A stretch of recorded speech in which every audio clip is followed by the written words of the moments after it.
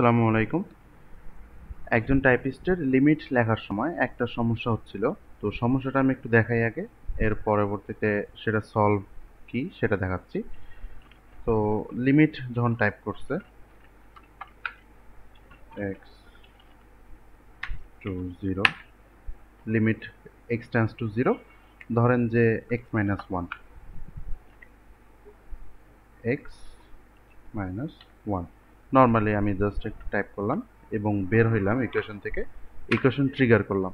যখনই equation trigger করলাম, তখন এক্স টেন্স টু জিরো এই জিনিসটা লিমিটের নিচে না থেকে বাইরে চলে আসতেছে ডান পাশে। আমাদের থাকার কথা ছিল কি এটা, আর যখন ইকুয়েশন ট্রিগার করতেছি ট্রিগার করার পরে এর চলে আসতেছে এটা। তো আমাদের তো অবশ্যই ইকুয়েশন ট্রিগার করে দিতে হবে। এখন ট্রিগার করার পরেও কীভাবে এক্স টেন্স টু জিরোটাকে লিমিটের নিচেই রাখা যায়, সেটা হচ্ছে শেখাবো। তো কোনো কিছুই না। এর আগে ছোট্ট একটা জিনিস শেখাই, সেটা হচ্ছে অ্যারোটাকে সবার প্রথমে যে ইকুয়েশনটা আছে, সেটার একদম বাম পাশে নিয়ে আসবে।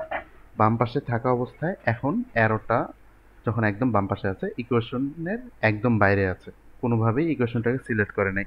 একবার রাইট ক্লিক করলে পুরো ইকুয়েশনটাকে সিলেক্ট করল।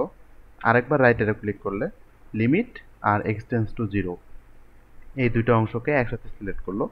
আরেকবার যদি রাইট অ্যারো ক্লিক করি, তাহলে শুধু লিমিট লেখাটাকে সিলেক্ট করেছে। তো এখন আমাদেরকে অ্যারোটাকে এমন অবস্থায় আনতে হবে যেন শুধু লিমিট এবং এক্সটেন্স টু জিরো এই দুইটাকে একসাথে সিলেক্ট করে। শুধু লিমিটকে যেন সিলেক্ট না করে বা পুরো ইকুয়েশনকে সিলেক্ট না করে। সিলেক্ট করবে হচ্ছে লিমিট এক্সটেন্স টু জিরোকে এটা কীভাবে বুঝতেছি? দেখেন যে লিমিট এক্সটেন্স টু জিরোকে যখন শুধু সিলেক্ট করছে, তখন এর ব্যাকগ্রাউন্ডটা এর আগের ব্যাকগ্রাউন্ডের তুলনায় একটু ডার্ক হয়ে গিয়েছে। তো যখন হচ্ছে লিমিট এবং এক্সটেন্স টু জিরোকে একসাথে সিলেক্ট করতেছে অ্যারোটা তখন এখানে একটা স্পেস বার দেবেন। একবার যদি এখানে একটা স্পেস দেন, তাহলে হচ্ছে লিমিট উপরে চলে গেল এক্সটেন্স টু জিরোটা নিচে চলে আসবে এবং আমার ইকুয়েশন কিন্তু অলরেডি ট্রিগার করা আছে। তো এভাবেই হচ্ছে এই সমস্যাটা সমাধান করতে হবে। আর লিমিটের ম্যাথ যারা লিখতেছেন, তারা এভাবে তো আর সবগুলো লাইনে করা লাগবে না।